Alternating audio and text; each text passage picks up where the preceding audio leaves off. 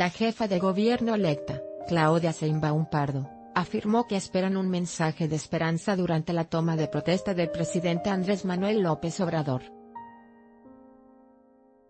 Entrevistada a su llegada al vestíbulo de la Cámara de Diputados, subrayó que este día están muy contentos porque se trata quizá de uno de los más felices en la historia de México e inicia una nueva era para el país. No te pierdas, día histórico para México.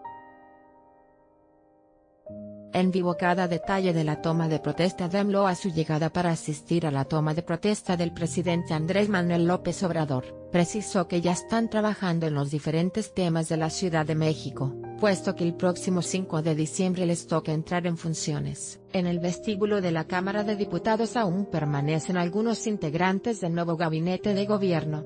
Sociedad así abre sus puertas Los Pinos por primera vez como museo.